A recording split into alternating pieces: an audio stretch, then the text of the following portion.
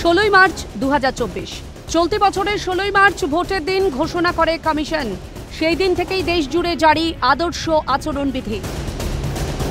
সতেরোই মার্চ অর্থাৎ ভোট ঘোষণার ঠিক একদিন পরেই রাতে কলকাতায় গার্ডেন রিচ এলাকায় একটি বহুতল ভেঙে পড়ে পাশের ঝুপড়ির উপর। মৃত আহতদের জন্য ক্ষতিপূরণের ঘোষণা করেন মেয়র ফিরহাদ হাকিম। ভোট ঘোষণার পর কীভাবে ক্ষতিপূরণ ঘোষণা করতে পারে সরকার, সেই ইস্যুতেই শাসকের বিরুদ্ধে বিধি লঙ্ঘনের অভিযোগ তুলে কমিশনের দ্বারস্থ হয় বিজেপি। একত্রিশে মার্চ দু আবারও এক রবিবার। মিনি টর্নেডোর ঝাপপটে ক্ষতিগ্রস্ত হয় জলপাইগুড়ির বিস্তীর্ণ এলাকা, মৃত্যু পাঁচজনের। সেই রাতেই তড়িঘড়ি এলাকা পরিদর্শনে যান মুখ্যমন্ত্রী। শুধু তাল কাটল এক জায়গাতেই।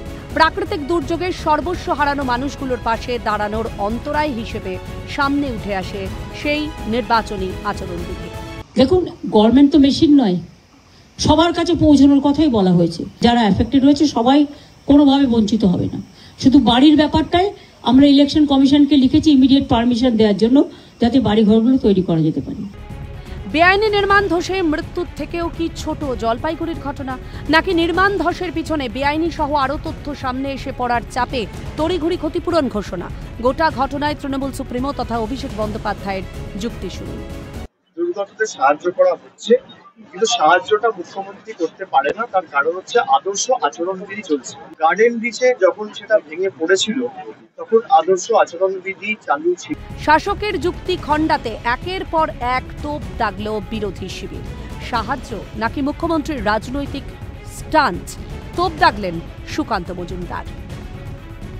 দেখুন মুখ্যমন্ত্রী তো এলেন দেখলেন আবার দেখলাম আমরা পাশের আহ, লোকসভাতে গিয়ে না এলেনও অতএব মাননীয় মুখ্যমন্ত্রী আদৌ কি যারা ওখানে ঝড়ে ক্ষতিগ্রস্ত হয়েছেন তাদেরকে সহানুভূতি জানাতে তাদেরকে সাহায্য করতে এসেছিলেন নাকি পলিটিক্যাল স্টান্টবাজি করতে এসেছিলেন? ঠিক কথাই বলেছে মুখ্যমন্ত্রী এবং তার ভাইপো উত্তরবঙ্গকে ঘৃণা করেন। মুখ্যমন্ত্রী একটা নির্লজ্জ। তিনি মাঝরাত্রে গেছিলেন তুখিজ শুধু রাজনীতি করতে জানেন তিনি সরব অগ্নিমিত্রা। ছবি তুলে প্রচার করতে পারছেন না বলেই জলপাইগুড়ি থেকে মুখ ফিরিয়েছেন মুখ্যমন্ত্রী। তো বিজেপি সাধারণ সম্পাদক জগন্নাথ চট্টোপাধ্যায়। রানিমা সবই জানে।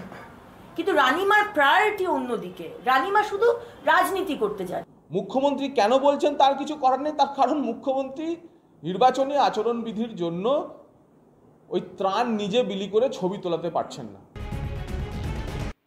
আসলে চমকের রাজনীতিটাই এখন রাজনীতিতে ওরা পরিণত করছে। চমক, শুধু চমক দেবেন দুই একটা স্টান্ট কিন্তু বাস্তবে যেটা করার কথা, সেটা হচ্ছে না। তাই জন্য মিডিয়া যখন ধরছে, তখন প্রত্যেকে এমন কাউকে পাচ্ছে না, দেখুন, যে যিনি বলছেন যে সরকার আমাদের কিছু কিন্তু তাদের যাবতীয় যতটুকু পেরেছে, সেই সমস্ত জায়গা একত্র করে তারা ত্রাণ দিচ্ছে।